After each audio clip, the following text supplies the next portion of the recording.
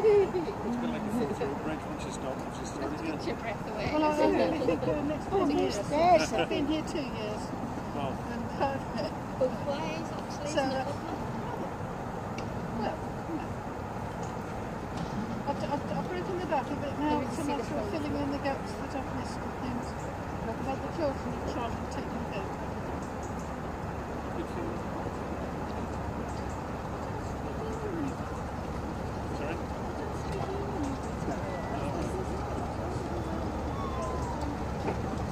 This this lady's painted the bridge. She's been on it two years. Goodness. Well, good job.